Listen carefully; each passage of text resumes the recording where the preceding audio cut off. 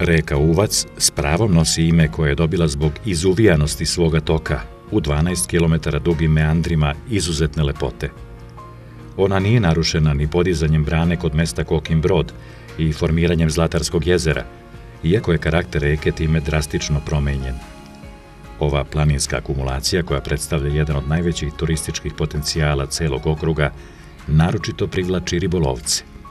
Većina ih boravi u vikendicama, ali ima i onih koji su dan i noć kraj svojih štapova.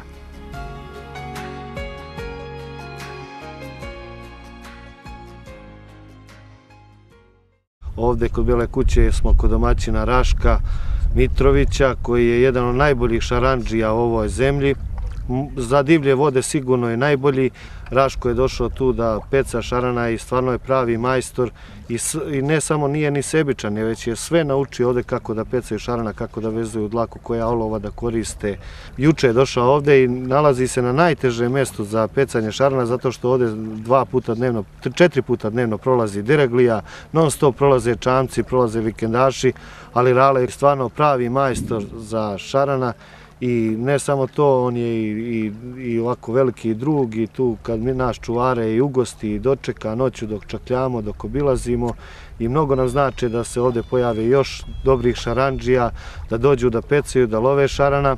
Također želim da naglasim da je šaran ovdje najveća riba koja se nalazi u ovom jezeru. Hvatani su primjerci do 15 kg. Šaranski ribolov na ovom jezeru je dozvoljen preko cele godine, sem kad je baš period mjesta, tada je zabranjen lov na šarana. Nema ograničenja ulova, znači može da se peca kog god, može da se upica samo na sportski način. Već zovu šaranđije baš i preko Raška i preko mnogih ljudi da dođu iz Izraela, pecaju iz Velike Britanije, iz Francuske su već neki ljudi dolazili dolazili, interesovali se.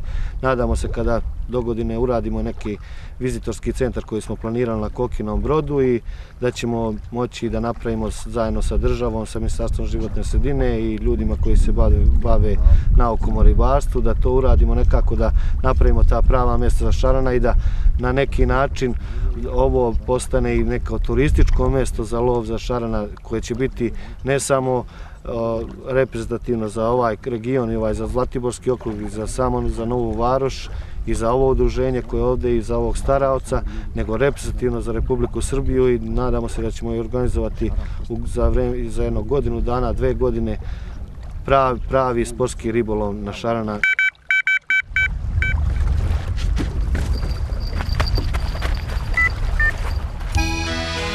Upotreba savremena opreme u velikoj je meri promenila i olakšala ribolov šarana.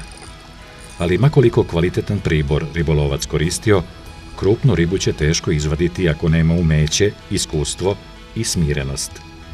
Rašku ništa od toga ne nedostaje.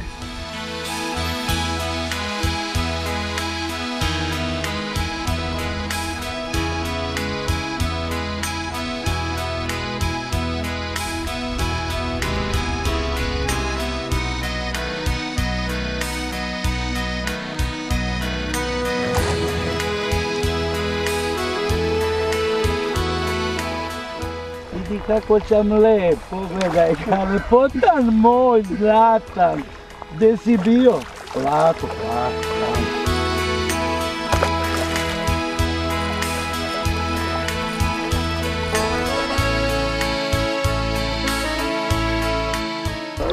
Ništa ti na juri, samo ja ću da ga nalasim.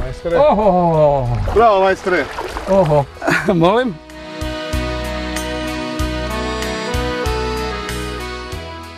Ovo je šaran sedmica, sedam i po, tu je. Sto posto.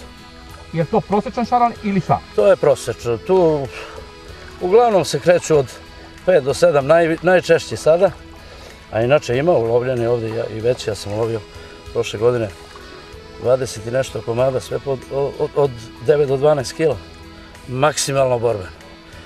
Pa vidi se, to je čudo, pravi divljak, velika visina, nadmorska, jaki, nenormalno, mora da se radi puno oko njega, da bi se ulovio.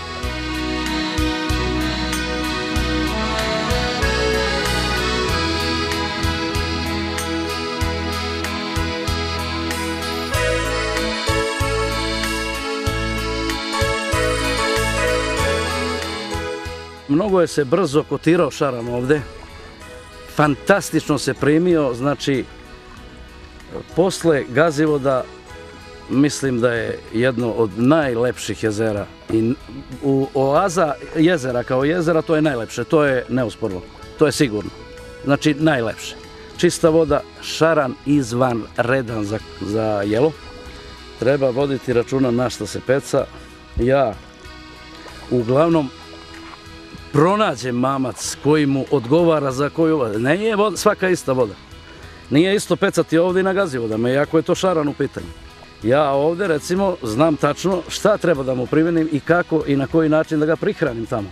Ja prvo to dobro istražim i onda kad bacim hranu, siguran sam da na prvoj hrani mora da mi gađa šaran u toku noći ili u toku dana. Ako mi se to ne desi danas ili sutra, znači da nešto nisam ni ja napravio kako treba, da biste vi uspešno sad recimo desit vam se sad ga nahranite I posle pola sata mi se desi gađa šara. Šta je to? Nije mogo da pojede on tu svu hranu. On tu hranu nije pojeo, ali sam mu ja bacio mamac van hrane koji se razlikuje od ostalih prihrane. Tu prihranu koju namirišem, ona služi je e, za jedno bacanje, za drugo bacanje, na trećem bacanju, već kada mi se javi šaran, recimo, odma ja prekidam to, onda mu bacam običan kukuruz, samo kuvan. Znači, više mu ne stavljam tu aromu. Da ga u stvari prevarim da on da on vidi da mu ništo, nešto nije u redu, a onda samo trči na mamac. Mamac mu je mirišljav, ovo više nema, gotovo, kraj. Kad prođe jedno izvesno vreme, pa on neće da radi, o ja to ponovim opet. Pa mu opet namirišem, pa mu bacim, pa ga navučem, pa dođe. Kad dođe na hranu, ja onda opet tako uradim, ponovo i tako u nedogled. Ubijanje, brate.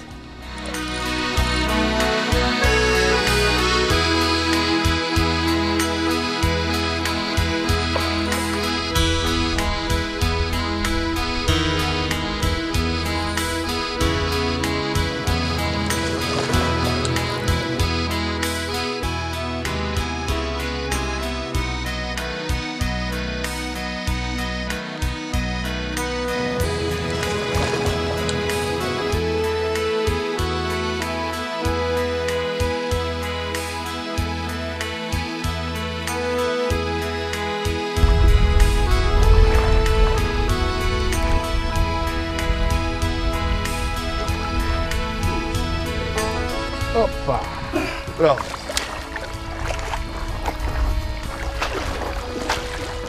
Bravo, bravo, majstore. Lupi, bravo. O, doktore!